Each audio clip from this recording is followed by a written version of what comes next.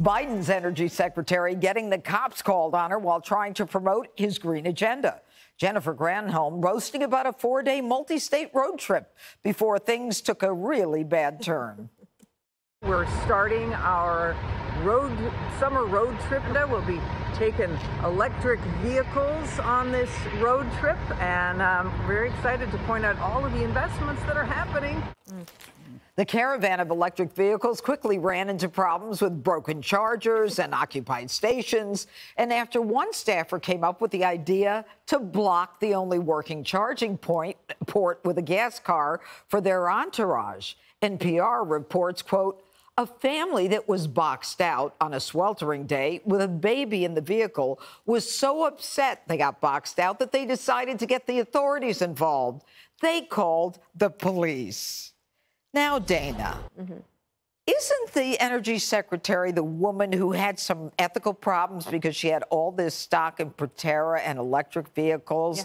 Do you have to kind of question her ethics and why she's so hot well, on this? Well, she's got away. She's gotten away with it, right? And the president is all in, and also because there's so many subsidies, you have the car companies saying, "Okay, we're we're gonna we're going to do it." But what this whole episode shows is that the electric vehicle myth is that there is not the appetite or the infrastructure to have these mandates for electric vehicles yet. There was another story this weekend about the rental car market and how what, it's just such a disaster for people because they're really pushing the electric vehicles on you, and it's causing huge problems because people just want to get. You, If you get a rental car, you want to get it and go. You don't want to have to relearn how to yeah, drive. You don't need to figure out how to charge it.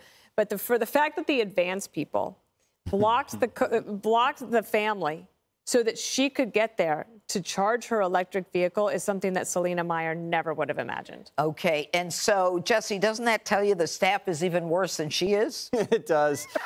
I mean, come on. You have NPR who's embedded. Yep. Mm-hmm. So you're trying to impress NPR. Yep. So what if you have to wait a little longer for some family to charge up? So what?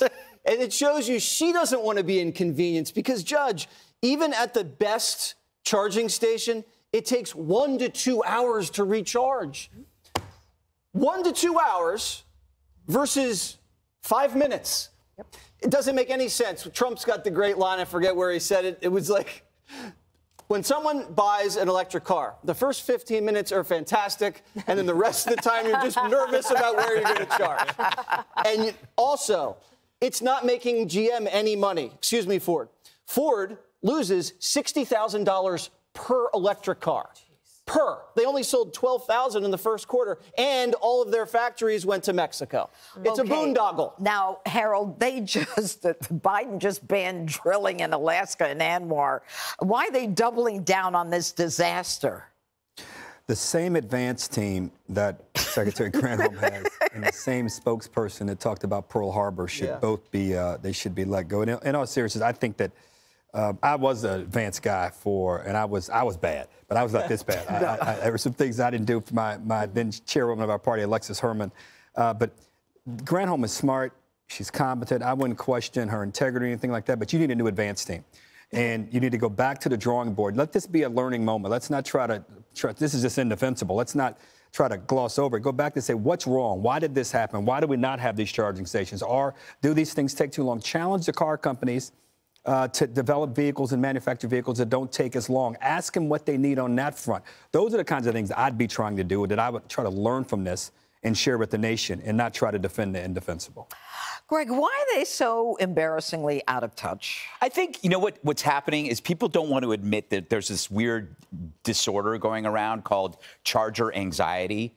Yeah. And it's like the electric car is replicating it in a bigger way. So like you have your phone, you have your like so I have an I have an Apple Watch and and you know I have to like always think about whether that's charged. I have to think about whether my phone's charged, whether my laptop's charged. Now I have to think about my car, and it's like it's it, it's like Jesse's right about it, and what Trump said. It's like it's fun until you're anxious about it. It, it. it, puts you back to when you were 16 and you had your first car and you only put two gallons of gas in, yeah. and you just you go like, you go maybe I can make it past to the next exit. You just be doing that. But there's a, this is an old rule of mine: don't sail a boat while it's under construction, and that's what they did. Yep. They filmed it. No doubt uh, electric cars will be part of these choices, but you need the infrastructure first. This is why I've held off on my EV Bentley. I'm not, I, I, I, was thinking about it, and then I thought, you know what? I'm just going to stick with the gas uh, Bentley right. and my Mini Coopers. Right. What does Gus prefer?